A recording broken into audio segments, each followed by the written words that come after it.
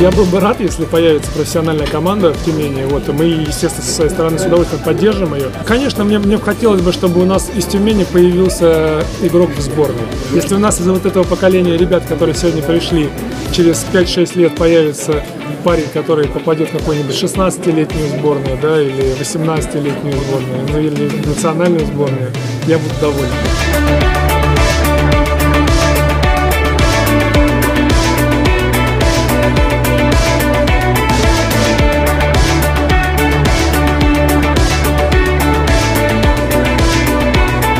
Отличная атмосфера и, конечно когда молодые лица, когда ребята, которые играют в баскетбол, и вот они видели тебя по телевизору, а сейчас у них есть возможность тебя вживую увидеть, конечно же, эти эмоции, они завораживают.